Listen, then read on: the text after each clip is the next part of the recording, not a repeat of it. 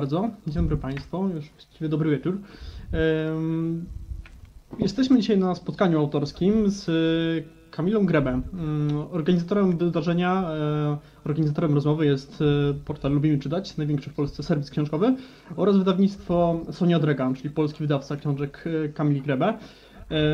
Szwedzkiej autorki kryminałów, thrillerów, powieści szpiegowskich, autorki bestsellerowej, której najnowsza książka, to znaczy Łowca, Łowca Cieni, mm, właśnie ma swoją polską premierę. To, na jaki temat chcielibyśmy dzisiaj mm, porozmawiać, to zbrodnie oczywiście, e, morderstwa, rzecz jasna, ale również kwestie związane z tym, mm, czym jest społeczeństwo, skąd e, biorą się przestępcy, czy, czy istnieje coś takiego jak gen zła. E, od razu mówię i zachęcam Państwa do tego, żeby brać udział czynny w naszej rozmowie, e, zarówno jeśli chodzi o, o, o słuchanie, ale przede wszystkim o, o zadawanie e, pytań. Istnieje taka możliwość. Dzień dobry, Kamil. Uh, all right, so good evening, everyone. Good, good evening, Camila. It is our pleasure tonight uh, to have a conversation with Camila Grebe, a best-selling author from Sweden, the author of crime novels, thrillers, uh, and uh, the meeting is organized by Lubimy Czytać, the biggest book portal in Poland, and by the Polish publisher of Camila Grebe's books, so the uh, Sonia Draga Publishing House. And tonight we are going to talk about crime and about the society and how it happens that perpetrators simply appear. So, is there any evil gene? And first of all, I would like to encourage our viewers to participate actively. So, to listen to our interview first of all and then ask questions because you have such a possibility in a chat. So, welcome, welcome, Camila. Dzień dobry. I'm happy to be mm. here tonight. Bardzo się cieszę, że tu jestem dzisiaj wieczorem. My również się cieszymy. E, I skoro już e, towarzyskie mm, konwenacje są za nami, e, to chciałbym zapytać o, o taką rzecz, droga Kamil. Wyobraź sobie, że jesteś profilerką kryminalną i na twoim fotelu siada kobieta imieniem Kamil Grebe. Co byłoby Twoją największą zaletą, czy największą siłą, a co, mm, co największą wadą, gdybyś mogła się pokusić o taką autoanalizę? Uh, so we are also very glad to uh, have this conversation with you tonight. And perhaps my first question now. Uh, please imagine you are a police profiler and you are supposed to prepare a profile of a woman named Camila Grebe.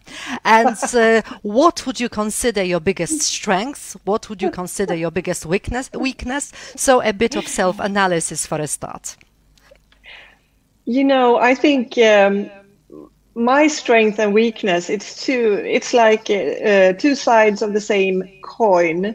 The thing is that if i'm really interested in something uh, if it's my passion i will work uh, incredibly hard to uh, to make it perfect and make it just the way i want it but uh, but the other way around if i'm if i'm not too motivated i can be very lazy so um, when it comes to my books, I'm I'm highly motivated, of course, because that's what I love doing. I love writing, uh, and I will do anything to to make sure that uh, they are as good as they can be. But I've had uh, I've had like normal jobs where I at least I felt I was a bit lazy because I didn't have that passion. No tutaj, jeżeli pada pytanie o moje mocne i słabe strony, w gruncie rzeczy to są e, dwie strony tego samego medalu. E, bo jeżeli coś mnie mocno zainteresuje, jeżeli podchodzę do tego z pasją, to wtedy pracuję naprawdę bardzo, bardzo ciężko e, i staram się zrobić wszystko, żeby osiągnąć efekt absolutnie idealny, żeby osiągnąć to, co chcę osiągnąć. Natomiast jeżeli coś mnie nie interesuje tak bardzo, jeżeli jestem mało zmotywowana, no to cóż, wtedy jestem bardzo, bardzo leniwa. I oczywiście w przypadku pisania książek jestem wysoce zmotywowana, bo pisanie jest moją pasją i uwielbiam to robić, więc staram się, żeby moje książki były jak najlepsze, ale wcześniej miałam też innego rodzaju zawody i mam wrażenie, że tam wykazywałam się całkiem sporym lenistwem. Mm, Okej, okay, to skoro o tych e, innych zawodach e, już e, temat się pojawił, to nie wszyscy być może wiedzą, że jesteś współzałożycielką mm, Storyside, czyli wydawcą mm, firmy, która zajmuje się audiobookami i która cieszy się sporą popularnością w Szwecji. I skoro tak, to wydaje mi się, że możesz znać odpowiedź na to pytanie. Co dzieje się takiego, że ludzie lubią słuchać historii, a przede wszystkim lubią słuchać historii o mordercach, o seryjnych zabójcach, o tym, co, co jest, co możemy nazwać mroczną stroną naszej rzeczywistości. Mm-hmm. Uh, so you've mentioned other jobs and other professions in your professional career. So perhaps I should add, because not everyone perhaps knows that, uh, that you are a co-founder of Storyside, so a Swedish audiobook publisher, uh, which is very popular in Sweden. And um, now let me ask you another question, uh, because basically um, I think that people like listening to stories. They like listening to stories, especially mm-hmm. about serial killers and about the dark mm-hmm. side of a human mm-hmm. being. Why is that so, in your opinion? I think it is a sort of therapy for people because, uh, you know, we're all afraid of that dark side within uh, other people and sometimes within ourselves.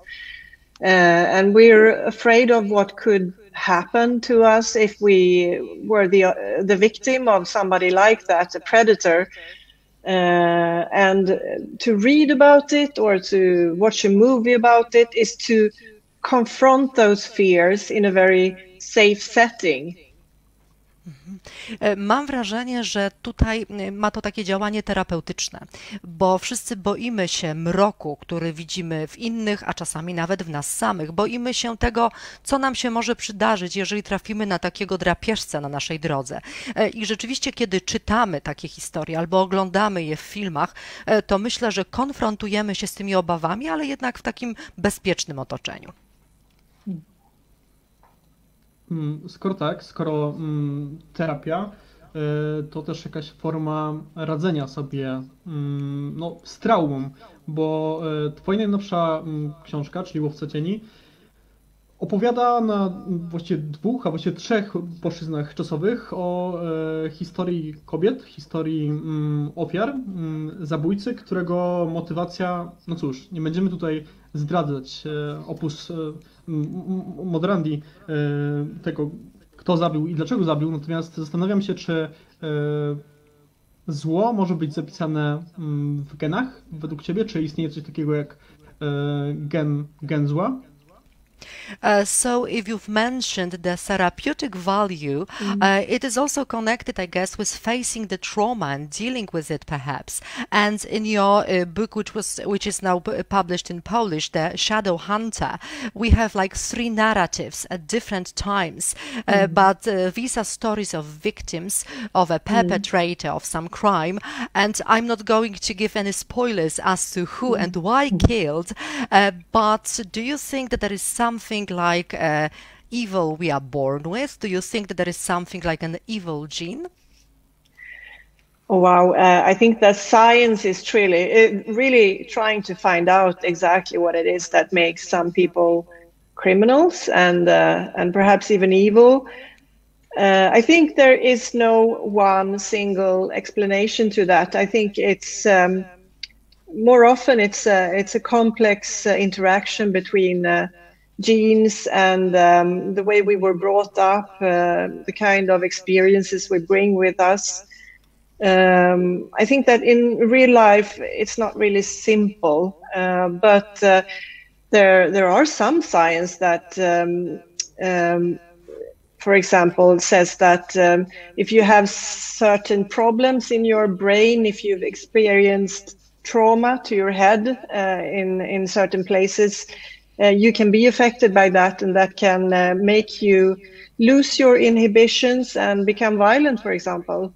Mm-hmm. Uh, Tutaj to nie jest łatwe pytanie, dlatego że nauka stara się znaleźć odpowiedź na to pytanie i takiej jednoznacznej odpowiedzi nadal nie ma. Więc naukowcy nie potrafią nam powiedzieć, skąd biorą się przestępcy czy ludzie źli. E, natomiast prawdopodobnie jest to zazwyczaj kombinacja różnych czynników, czyli z jednej strony genów, ale też wychowania, doświadczeń danej, osoby, czyli brak prostej odpowiedzi. Natomiast na pewno istnieją badania, które dowodzą, że urazy pewnych obszarów mózgu mogą doprowadzić do tego, że dana osoba pozbywa się zahamowań i zaczyna zachować się w sposób e, przemocowy, gwałtowny. Hmm, skoro tak, skoro kwestia e, przemocy, gwałtow gwałtowności, również uczuć, e, no to warto zwrócić tutaj uwagę na, na to, że w książce pojawiają się kobiety w różnych, w różnych rolach i jedną z ról, które przyjmują są, mm, jest to, że są funkcjonariuszkami policji. Mm, policjanci w spódnicach, jak bywają określane pogardliwie w książce Łowca Cieni. E, zastanawiam się po pierwsze, mm, skąd chęć przybliżenia e, takiego tematu, bo Twoja książka, oprócz tego, że mówi o zabójstwach, o zbrodni, to mówi też o ważnych przemianach społeczno-kulturowych w Szwecji czy w ogóle w Europie. Moje pytanie jest następujące jak to się dzieje, czy jak to się działo, że mm, kobiety był, były traktowane e, no, w tak pogardliwy sposób, czy no, były właśnie cieniem mężczyzn na, w nawiązaniu do, do tytułu książki e, i nie były traktowane na równych zasadach, jeśli chodzi o, e, o policję, no ale też nie, nie są traktowane na równi również dzisiaj. Mm-hmm. Uh, and in the Shadow Hunter, uh, there are several women characters, and they play various roles. And one of them is that they work for the police, and they are called the, the police officers in skirts, and it is used as a derogative term in the book uh, by the men working there as well. So um, it is important that this book is about like a crime story, a crime, but it is also about social and cultural changes in Sweden, but also in Europe in general, I would say say. Mm-hmm. And I was wondering, how did it happen that women were treated like that in their workplace, that they were not having like given equal rights, that they were treated like shadows of men in the police force, and perhaps it is happening at the time, at the moment as well. What do you think about that? Well, um, the theory that I have at least is that it's not about, I don't think it's about men being bad and women being good. Uh, that's far too easy an explanation. Uh, I think it's about us as human beings trying to hang on to the power that we have. And uh, traditionally, men have had more power when it came to um, professional uh, issues and uh, uh, things taking place in the workplace, especially in in in the police. Um, and uh, so when women entered the police force, which happened in the end of the 50s in Sweden, uh, the men simply they, they were simply hanging on to their power and not treating these women very well. And also, I think they were uh, not very used to the situation. They were not used to having uh, female police officers. Uh, but one of the things I wanted to illustrate in the book is that this could also happen with a woman because later on in the story, uh, in um, in the um, uh, in the end of the story, we meet a female police officer who is also the boss, uh, and she's very she's not very nice to the women either because she's one of these person who has uh, who has risen to power within the police force, and now she wants to protect that power. E, no cóż, ja tutaj mam pewną teorię na ten temat. Mianowicie to wcale nie jest tak, że mężczyźni są źli, a kobiety są dobre. To byłoby za łatwe wyjaśnienie. E, po prostu wygląda to tak, że jeżeli mamy władzę, to nie chcemy jej łatwo oddać, a tradycyjnie w miejscu pracy, szczególnie w takich miejscach jak policja, te władze dzierżyli mężczyźni. Wcale nie byli tacy skłonni, żeby tą władzą się podzielić, więc kiedy kobiety pojawiły się w policji, przynajmniej w Szwecji nastąpiło to mniej więcej pod koniec lat 50. XX wieku, to mężczyźni posiadający władzę nie traktowali tych kobiet zbyt dobrze, między innymi też dlatego, że nie byli przyzwyczajeni do ich obecności w takim miejscu, w takiej funkcji. Natomiast e, to wszystko nie jest takie oczywiste, albowiem kiedy będziemy czytać e, Łowcę Cieni, to tam potem pojawia się postać kobiety, która sama jest policjantką, ale jest też szefem i ona wcale też nie jest miłą osobą, bo znowu doszła do władzy i nie zamierza jej oddać. A skoro pojęcie mm, władzy, mm, szekspirowski bardzo temat, e, to też wolna wola mm, i coś takiego jak e, fatum, czy, czy siła przeznaczenia.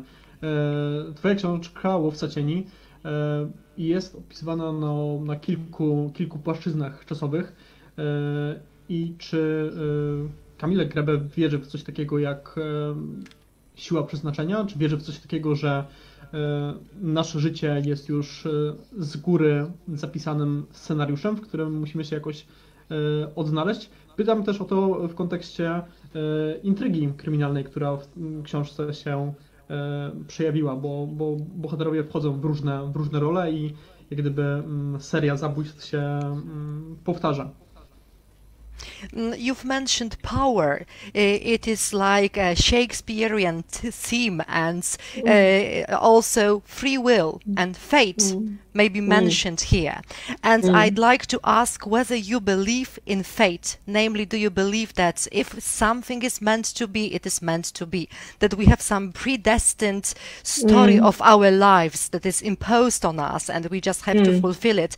I'm asking this question also in the context of the plot of The Shadow Hunter, because there are these three narratives at different times, but it seems that characters like enter certain series of events and certain mm. things happen to them. So fate in mm. this context, do you mm. believe in it? Mm. Uh, no, I actually don't believe in fate, but I, I, I don't believe that everything happens for a reason. But I believe that you can create meaning from most things that happen to you. So, good things and bad things, you can make that your destiny. But I don't think it's pre pre-decided what's going to happen. Uh, so in a way, uh, real life and reality to me is the opposite of uh, writing a book because in a book, everything that has happens has to have a meaning and has to build onto the the story and the things that you want to convey. So we have reality on the one hand and um, fiction on the other hand, and, and they are opposites. Mhm. E, no nie, wcale nie wierzę w fatu, wcale nie wierzę w tego rodzaju przeznaczenie, e, wcale nie twierdzę, że wszystko się dzieje z jakiegoś określonego powodu, nie. Natomiast uważam, że e, wszystkim wydarzeniom w naszym życiu możemy jakieś znaczenie przypisać, możemy to znaczenie dla tych wydarzeń stworzyć i w pewnym sensie, jak się nad tym zastanawiam, to rzeczywistość, nasze prawdziwe życie wygląda jak odwrotność pisania książki, bo kiedy piszę książkę, to tak naprawdę wszelkie elementy, wszelkie wydarzenia do czegoś nas prowadzą prowadzą nas do jakiegoś rozwiązania albo łączą się z jakąś końcową tezą. No i to jest absolutnie odwrotnie niż w prawdziwym życiu, więc absolutnie nie stawiałabym tutaj znaku równości. Okej, okay, dobra, to skoro mm, to mamy wyjaśnione, to chciałem zapytać, żeby się przejść do jednego z pytań y, czytelników, a właściwie czytelniczki. Y, mianowicie, y, co według Pani jest takiego szczególnego w krajach skandynawskich, co spowodowało po pierwsze wzrost liczby piszących kryminały, a po drugie boom na skandynawskie kryminały w Europie czy na świecie. Uh, now I would like to ask a, a question from our viewers. Uh, so, um, why do you think there are so many Scandinavian mm. writers writing crime mm. stories and crime novels, mm. and why this kind of uh, Scandinavian literature has become so popular mm. that it is actually thriving everywhere in Europe?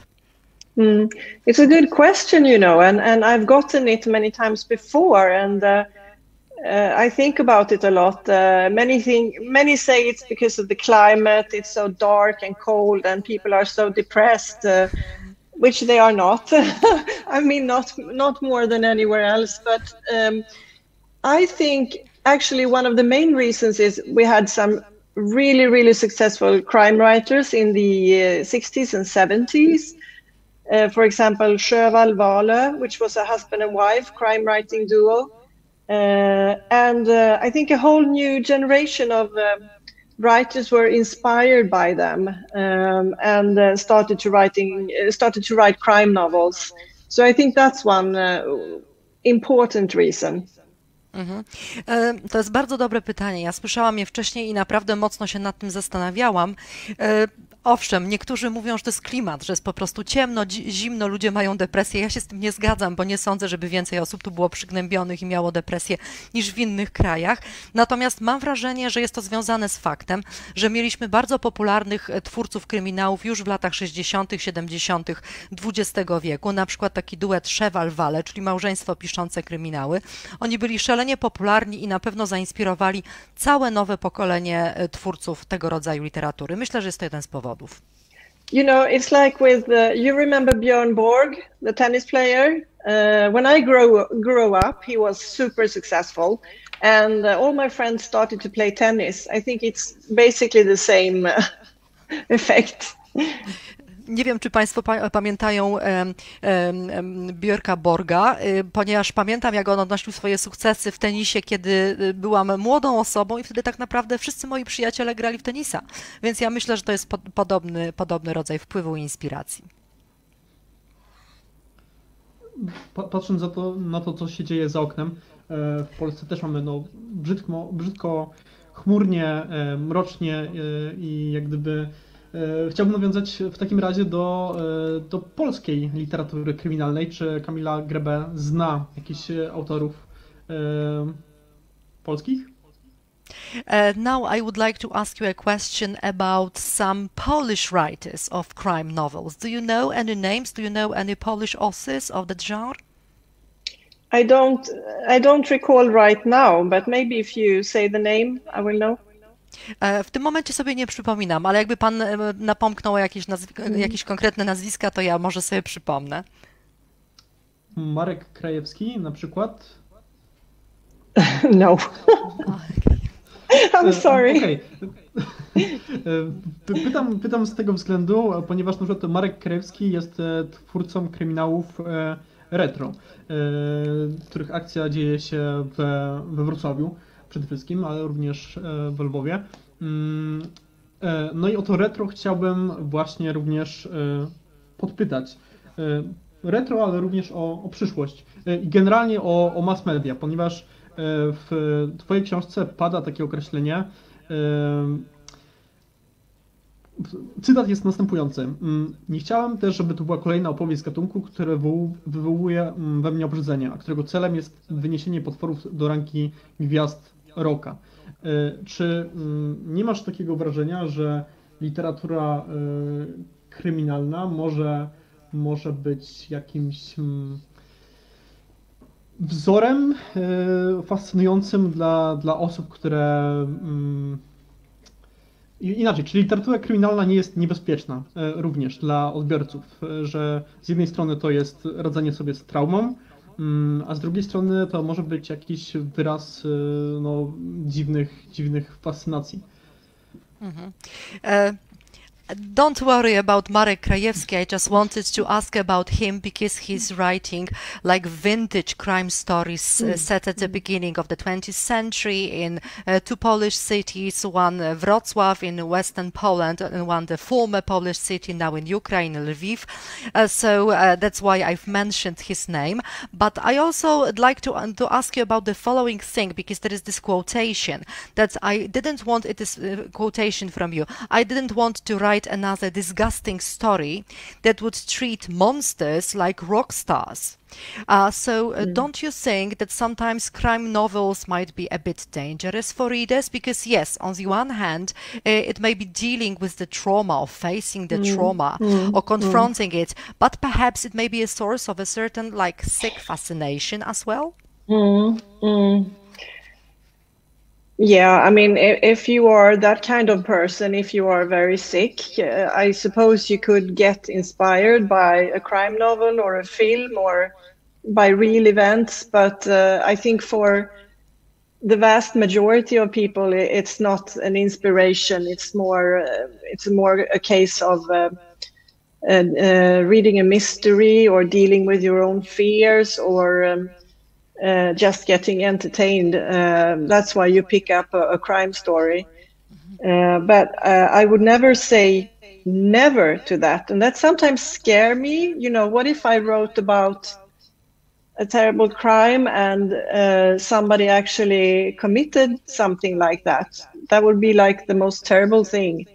E, No cóż, e, rzeczywiście nie można tego wykluczyć, że jeżeli ktoś ma taki bardzo wypaczony umysł, to zainspiruje się czy prawdziwym wydarzeniem, czy czymś, co zobaczy w filmie lub o czym przeczyta w książce.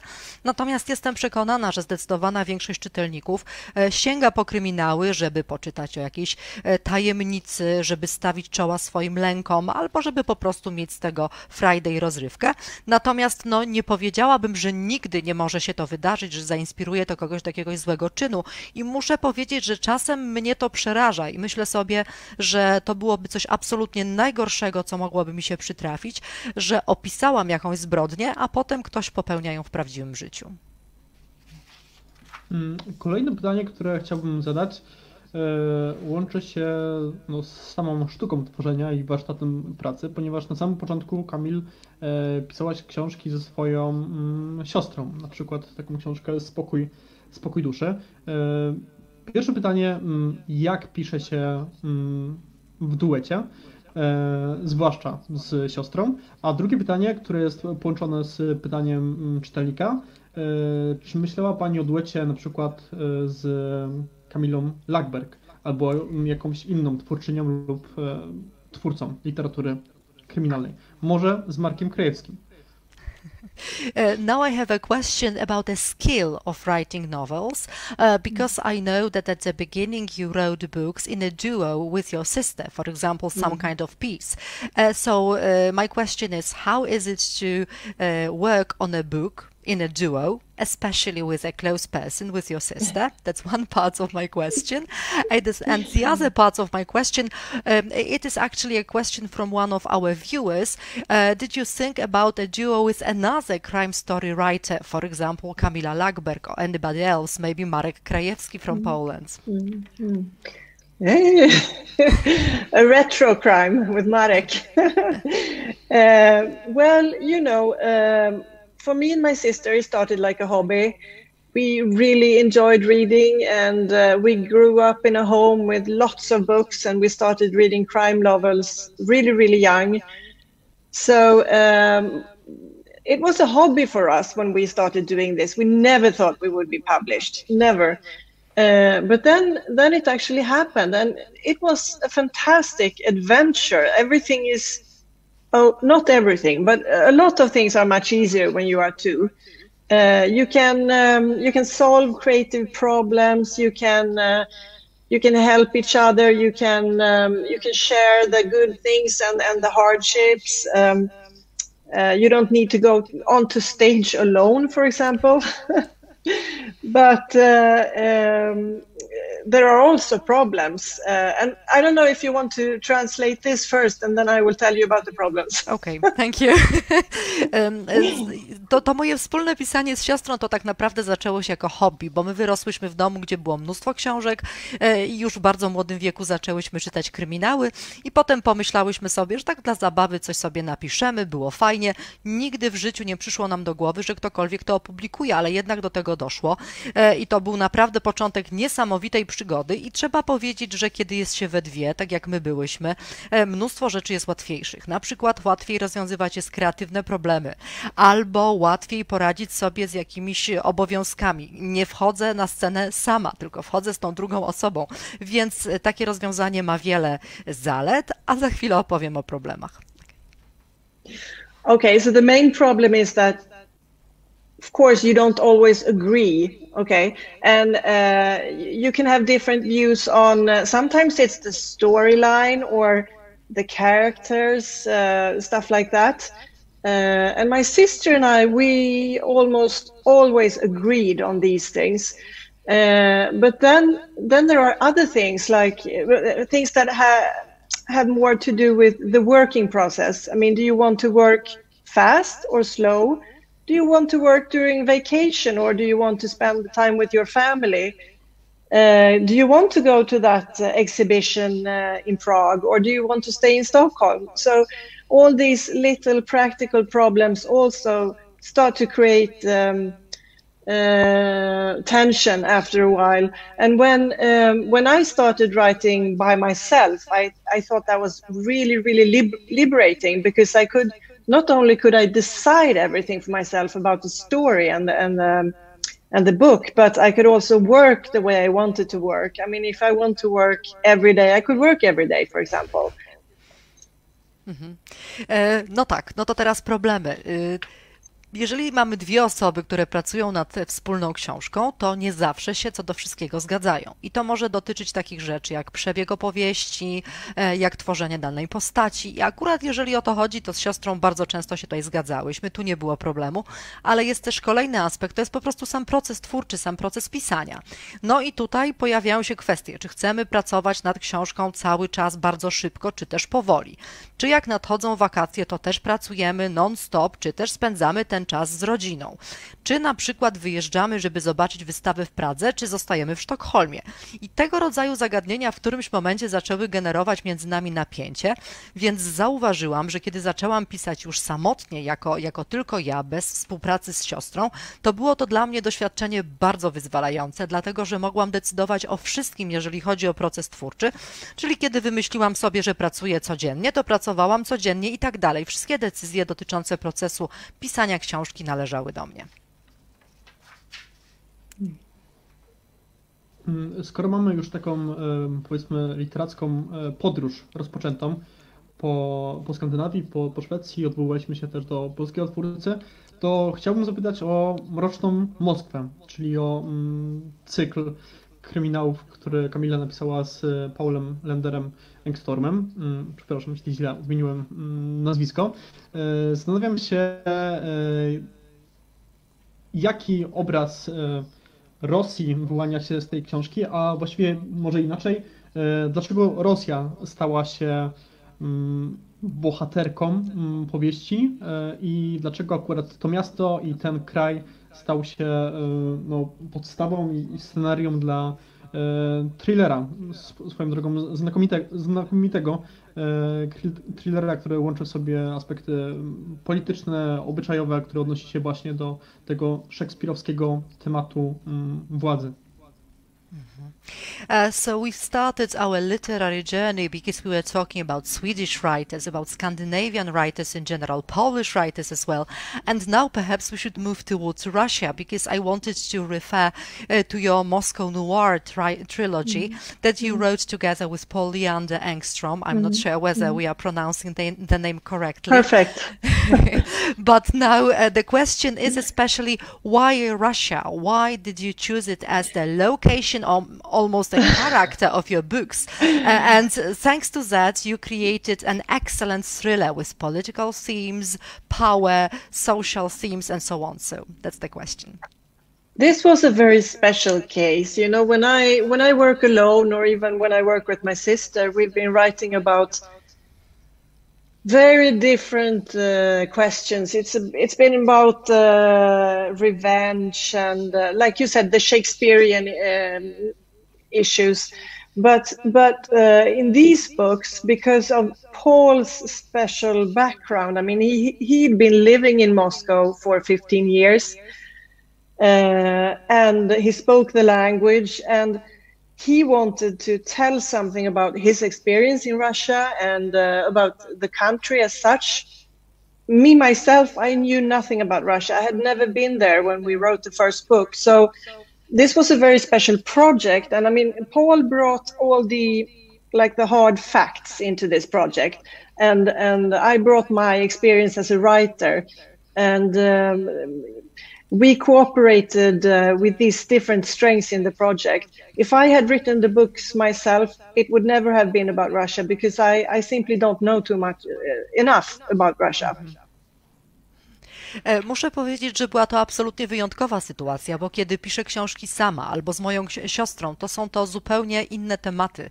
Mianowicie piszemy, nie wiem, o zemście, albo tak jak pan mówił, o różnych tematach szekspirowskich. E, natomiast kiedy zaczęliśmy pracować z Polem, no to Pol miał niezwykłe doświadczenie, albowiem on mieszkał przez 15 lat w Rosji, mówił, znał bardzo dobrze język rosyjski i chciał opowiedzieć o swoich doświadczeniach związanych z tym krajem, związanych z tym czasem sukcesem. Natomiast ja, kiedy zaczynaliśmy pisać te powieści, nie miałam tak naprawdę zielonego pojęcia o Rosji e, i nawet nigdy tam nie byłam.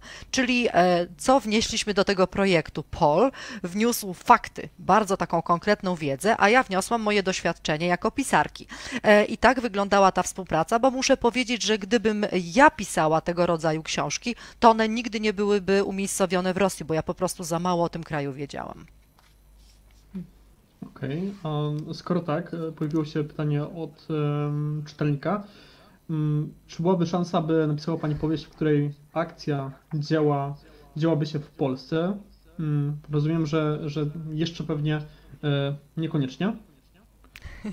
So now there is a question from a viewer. Is there a chance for you to write a novel with a plot set in Poland? So from your answer yeah. about Russia, I'm guessing that perhaps not mm. necessarily or not yet. Maybe not yet because I, I don't, I mean, I've been many times to Poland and I really like it, uh, but I, I don't feel I know the society well enough uh, to be able to describe it. Um, so uh, not at this point, but who knows? Who knows? Mm-hmm. Maybe if I call Marek, we can do it. E, jeszcze nie, bo rzeczywiście, no ja wprawdzie byłam kilka razy w Polsce, bardzo mi się podobało, ale na pewno nie mogę powiedzieć, że znam wystarczająco dobrze polskie społeczeństwo, jego problemy, żeby to wnikliwie opisać, e, więc to jeszcze na pewno nie jest ten moment. W przyszłości, kto wie, no może jakbym zadzwoniła do Marka, Dobrze, to zanim będziemy e, dzwonić i nawiążemy połączenia, to, to chciałbym zapytać o to, e, bo można dojść do takiego wniosku, że dla Ciebie, Kamil, e, realizm jest takim wyznacznikiem dobrej, wartościowej prozy, prozy kryminalnej. Czy mogłabyś się pokusić o, o taką własną, prywatną definicję mm, kryminału jako takiego, opowieści o zbrodni? Mm-hmm. Uh, when I read your books and when I listen to, to your answers, I think that for you, uh, a good crime novel is about realism. So, do you have your private definition of a good crime novel? I know I, one really important thing is that it's uh, really. Um, the suspense is there from the first to the last page. So the reader really wants to know what's going to happen. That's like the definition of a suspense novel right? But uh, when you have done that you can do almost anything you want uh, within the, the format because the crime novel is really just a format. You present the reader with a mystery. It's often a murder or several murders and then slowly you reveal what's actually happened uh, throughout the book. So you can put all kinds of things into the crime novel. It can be a love story. It can be uh, an an analysis of the society. Uh, it can be a very poetic language.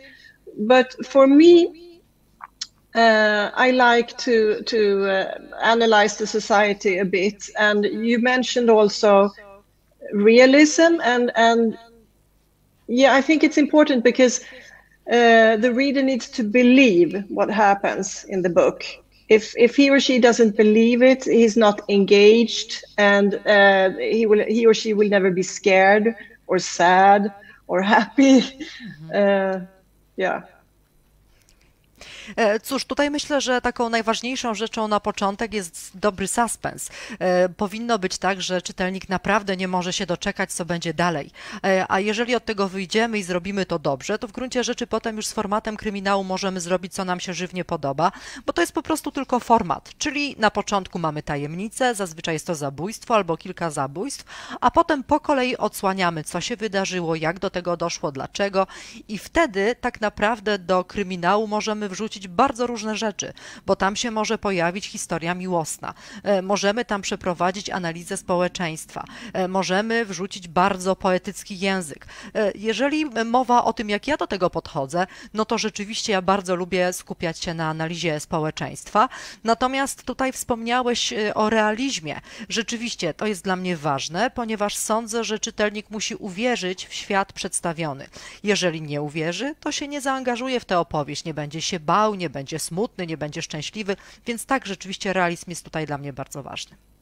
I think there's a, an interesting parallel here here to um, how, how you create suspense in a novel because some people, even writers, think that uh, if you threw in uh, if you threw in uh, another murder or a little more violence or a car chase, it it, it automatically gets uh, you get that suspense. But it's not about that. Suspense is about making the reader emotionally invested in the characters, because then they will suffer when the character suffers, and then they will will be scared if the character is scared.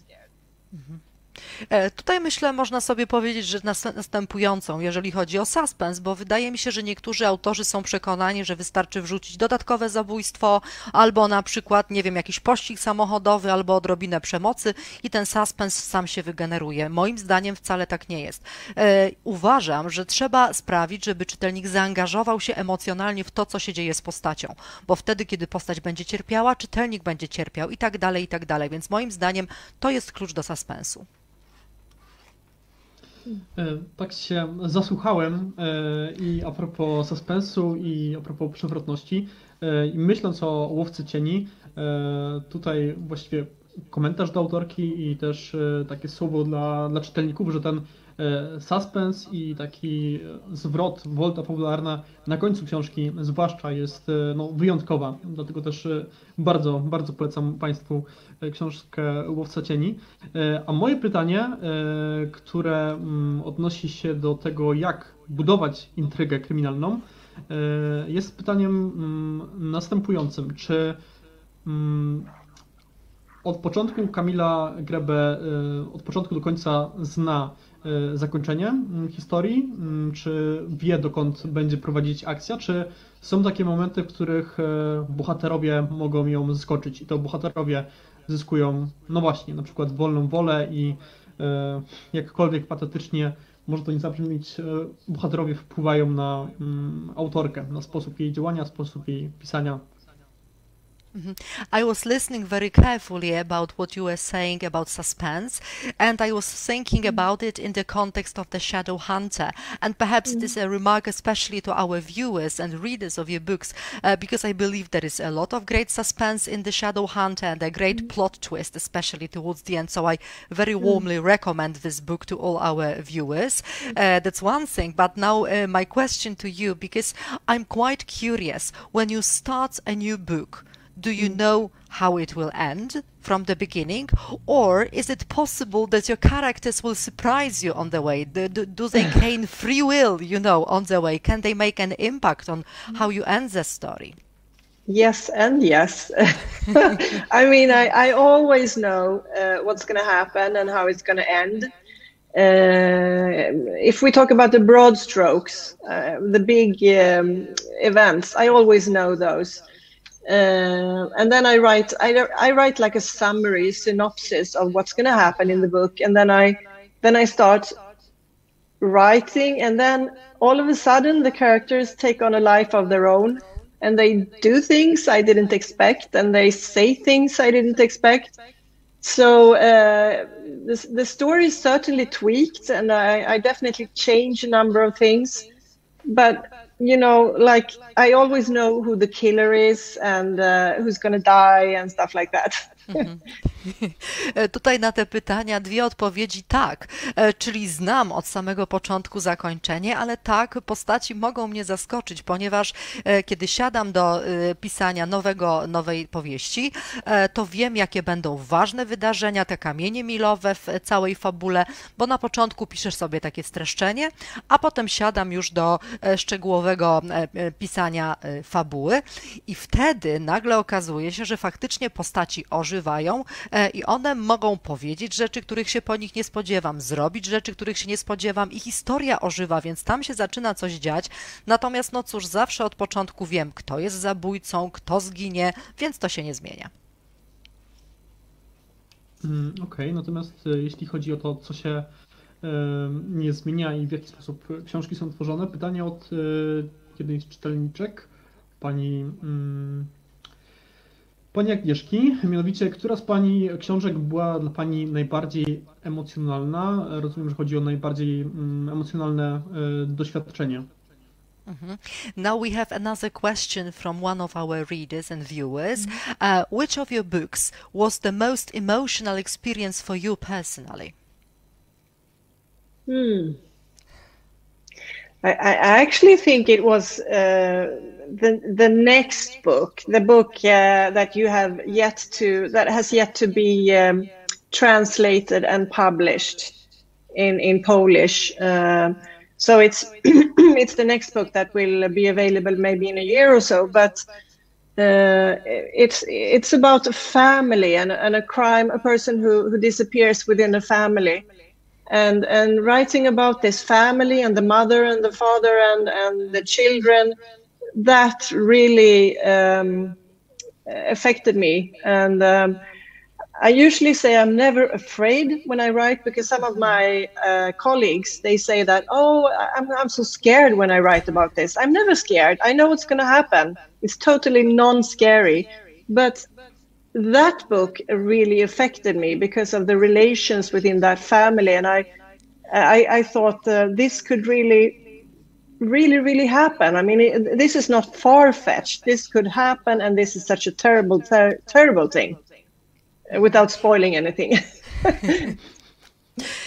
Tak, no tutaj jeżeli chodzi o, o to pani pytanie, myślę, że taka książka to jest ta następna, która jeszcze się nie ukazała w języku polskim. Być może ukaże się powiedzmy w przyszłym roku. Natomiast e, to jest historia, e, w której piszę o rodzinie.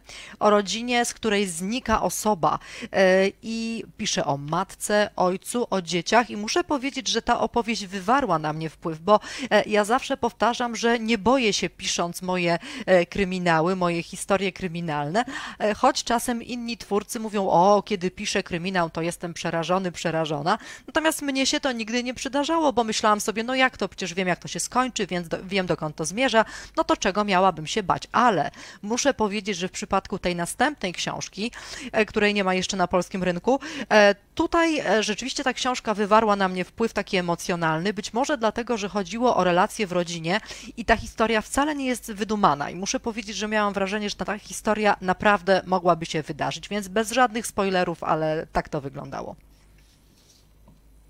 E, A jeśli chodzi o, mm, o to, czy możemy się bać czegoś na kartach literatury e, i jakie emocje nas e, w ogóle literatura wywołuje, mm, to pytanie od czytelnika znowuż, natomiast chciałbym je trochę rozwinąć o kontekst. No, żyjemy w czasach, jakich żyjemy. Żyjemy w czasach, w których zło, zło, jak sądzę, nieco się mm,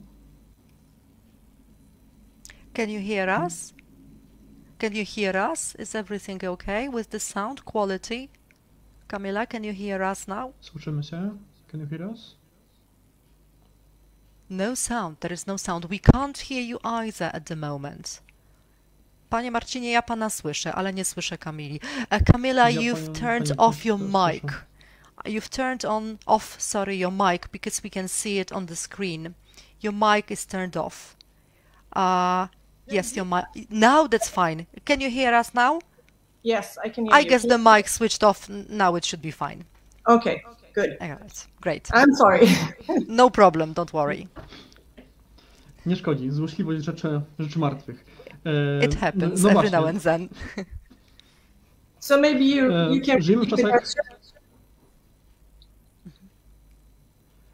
żyjemy w czasach, w których, e, no można powiedzieć, śmierć jest statystyką. Żyjemy w czasach pandemii, kiedy no, temat śmierci się trochę zbanalizował, patrząc na właśnie no, statystyki i liczby codziennych zgonów, to są no, liczby, a nie mm, indywidualne dramaty, tak można powiedzieć, taki ogólny, ogólnie, ogólny wniosek. I pytanie od e, czytelnika, pana Macieja, jest e, następujące. Czy nie ma Pani poczucia, że obecnie coraz trudniej przerazić, poruszyć serca czytelników i czasem trzeba sięgnąć po najbardziej uderzające obrazy, żeby to się udało? Uh, so we were talking about emotions evoked by literature, perhaps uh, fear and other other mm-hmm. strong emotions. Mm-hmm. And now I have a question, actually referring to the times uh, that we are living in and that we are experiencing. Because at the times of the pandemic, uh, we can say that like death is everywhere. The topic of death uh, has become quite trivial, I would say, mm-hmm. and death has become like statistic, not like individual people's stories. So would you agree with the following statement? Actually, it is a question from one of our viewers. Uh, don't you think that perhaps it is getting more and more difficult to scare your readers? Perhaps uh, authors have to reach for more striking mm-hmm. stories, scary stories, because it is very difficult to move people's hearts. Would you agree with that? Um, yes, there is an, uh, abundance of stories, uh, both in TV and, books and um, on films, but I'm not looking for these spectacular stories necessarily. I'm I'm looking for that emotional quality. I'm I'm trying to evoke uh, uh, other senses to make people feel things and I uh, and also want to do um, other things like in uh, the Shadow Hunter. I, am trying to describe a time and uh, changes in society. So, um, uh, but but uh, in a way, maybe it's correct.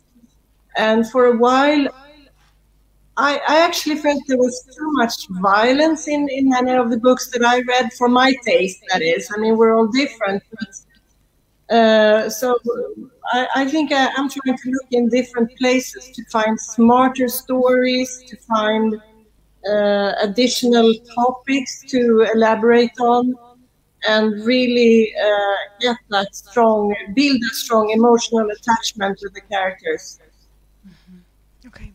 E, rzeczywiście zgadzam się z tym, że e, wszędzie wokół mamy bardzo e, takie mocne, uderzające historie. Widzimy to w telewizji, w filmach, ale muszę powiedzieć, że mnie nie do końca o to chodzi. Ja nie szukam aż takich spektakularnych wydarzeń.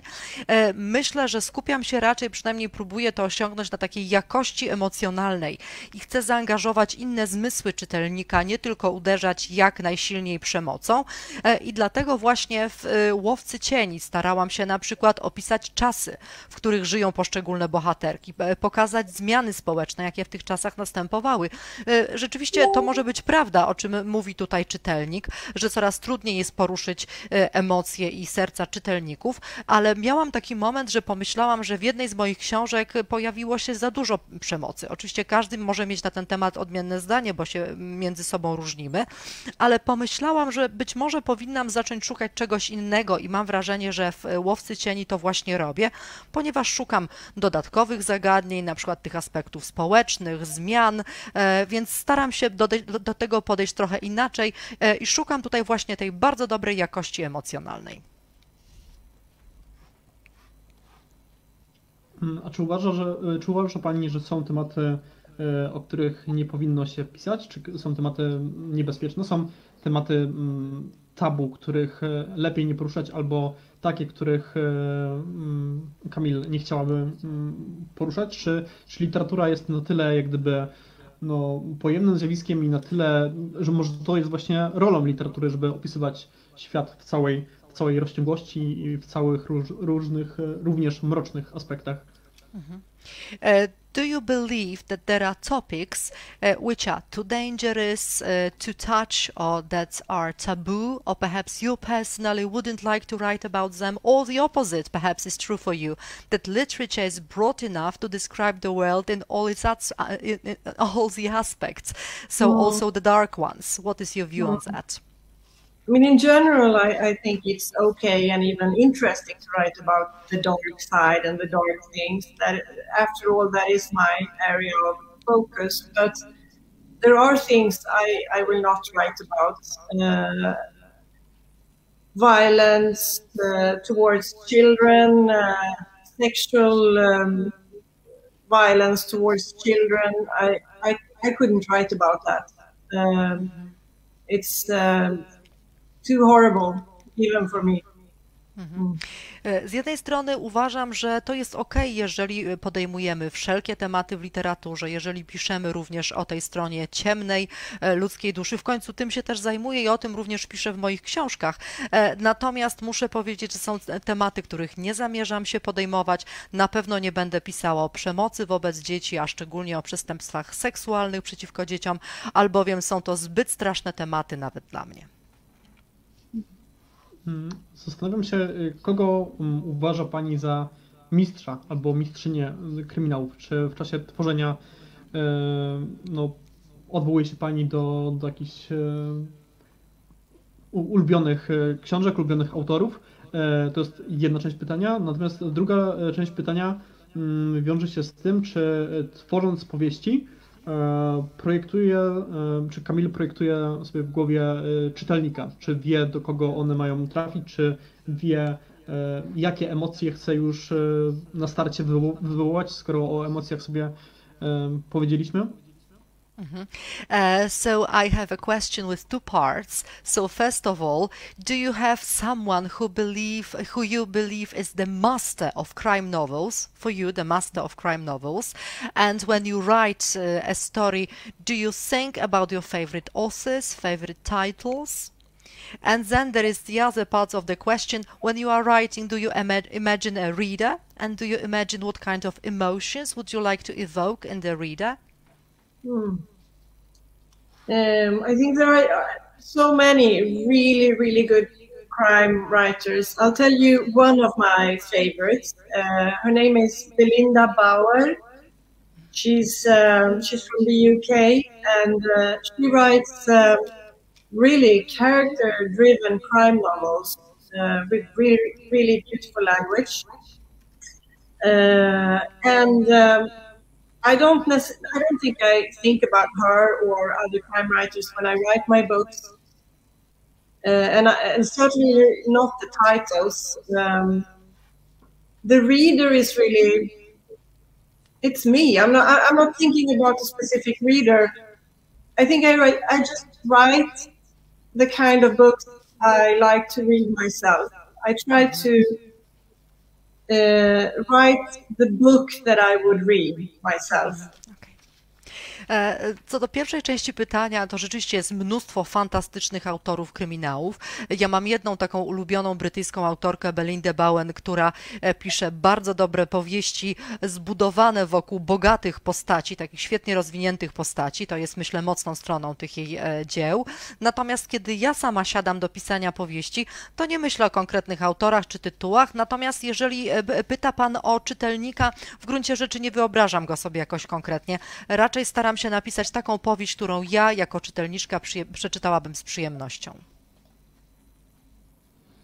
Mm, pytanie y, znowuż od y, czytelnika. Czy inspektor Manfred Olson jest w całości fikcyjny, czy był kimś inspirowany? E, I chciałbym to pytanie rozszerzyć, mianowicie na ile, e, skoro ważny jest e, realizm, to czy, czy w całości, czy jednak na ile ta prawda czasów, prawda, prawda historyczna jest, jest dla ciebie ważna, a na ile y, pobudzasz y, różne, różne sfery wyobraźni? Mm-hmm. Uh, there is a question from a viewer uh, whether Inspector Manfred Olson is a fully fictional character or was he inspired by a real person. And mm. I'm also quite curious about that because we talked about re- about realism. So mm. I'd like to know whether you like resort to describing people that you know, or do you rely fully on your imagination here? Uh, okay, so he's he's 100% fictional uh, it's not based on any real uh, person. Uh, none of my characters are, but sometimes I can steal not not like a whole person, but a, a personality trait mm-hmm. or a hairdo or a nose or something from somebody that I know. but but it's never a, a whole person. E, muszę powiedzieć, że inspektor Manfred Olson jest w 100% postacią fikcyjną. E, tutaj nie opisywałam nikogo znanego mi w prawdziwym życiu e, i nigdy nie opisuję w całości jakiejś rzeczywistej osoby. Czasem podkradam jakąś na przykład cechę charakteru, albo czyjś nos, albo fryzurę. Natomiast nigdy nie kopiuję, nie opisuję tak jeden do jeden znanych mi w prawdziwym życiu postaci. E, powoli zbliżamy się e, do nieuchronnego końca naszego spotkania. E, teraz zdałem sobie sprawę, że w niektórych pytaniach kierowałem, mm, zwracałem się do Kamili per ty, a w niektórych per pani. Natomiast pytanie, które, które mam na, na zakończenie, odnosi się do, do wartości. Mm, do wartości w literaturze. Mianowicie, jakich wartości pani Kamila szuka w literaturze jako mm, odbiorca, czytelnik, ale również jako mm, twórczyni. Czy to byłoby na przykład przekraczanie granic, czy oddawanie prawdy o świecie, jeśli chodzi o realizm. Czy mówimy tutaj o mm, eskapizmie, o tym, żeby uciec w stronę innych światów i zyskać jakąś przestrzeń dla siebie? Y, jakich wartości szukasz w literaturze? We are about to wrap it up because actually it's it's an hour of our interview. Uh, but I have one question about values that you are looking for in literature as a reader and as a writer. It is uh, because I'm curious whether you are interested in I don't know crossing some boundaries or perhaps truth about the world or escaping from the real world. What is important for you as a reader and a writer in terms of values in literature? Hmm. I think a good book is a book that stays with you for a long time after you read it. I mean, um, you can you can read a, an interesting, an exciting book, and then it's it's gone after a week. But if you find yourself thinking about the book after a month or a year, then it's a good book. So what does that say about the book? And it, it can be different things, but it, it probably made you think. It probably made you surprised. Maybe it uh, provoked you uh, and uh, made you upset, but it it moved you and changed you in some way. Mm-hmm. E, myślę, że tutaj można powiedzieć, że dobra książka to jest książka, która zostaje z nami na dłużej po przeczytaniu, bo owszem, czasem czytamy z przyjemnością, ale odkładamy książkę i po paru dniach kompletnie o niej zapominamy. Natomiast moim zdaniem dobra książka to książka, która do nas powraca po miesiącu, po roku, gdzieś nadal w nas tkwi. I co to oznacza? Że ona zmusiła nas do refleksji, do czegoś sprowokowała, zaskoczyła, zasmuciła, czyli poruszyła nas w jakiś sposób albo też zmieniła. I to znaczy, że to jest właśnie dobra książka. Skoro tak, to, to na zakończenie polecamy dobrą, nawet bardzo dobrą mm, książkę, mianowicie Łówce, Łówce Cieni. E, Kamilo, bardzo dziękuję za dzisiejsze spotkanie, za dzisiejszą rozmowę e, i trzymam za słowo, że ten duet z Markiem Krajewskim e, i akcja powieści osadzonej w Polsce gdzieś tam w niedalekiej przyszłości się ukaże. Okay, so since you were talking about a good book, let me now recommend a very good book, which is The Shadow Hunter, now published in Polish. I really recommend it. Mm-hmm. And now let me say I'd like to thank you very much for this meeting, for this interview. And I'd like to say that I'm looking forward to your duo with Marek Krajewski and to your novel set in Poland. I'm very much looking forward to it. And thank you very much for our conversation. Thank you for having me, and I'm looking forward to meeting this Marek soon. Bardzo chętnie spotkam się niedługo z Markiem. Nie mogę się tego doczekać i bardzo serdecznie dziękuję za spotkanie. Bardzo Państwu dziękujemy. Dziękujemy Kamile, dziękujemy również Pani Agnieszce za świetne tłumaczenie wywiadu. No i cóż, e, do spisania, do przeczytania mm, i pozostajemy w kontakcie przy okazji kolejnych spotkań autorskich. Thank you very much indeed. Uh, we hope to see you soon, to read your novels soon. Thank you very much. Goodbye. Thank you. Bye-bye. Bye.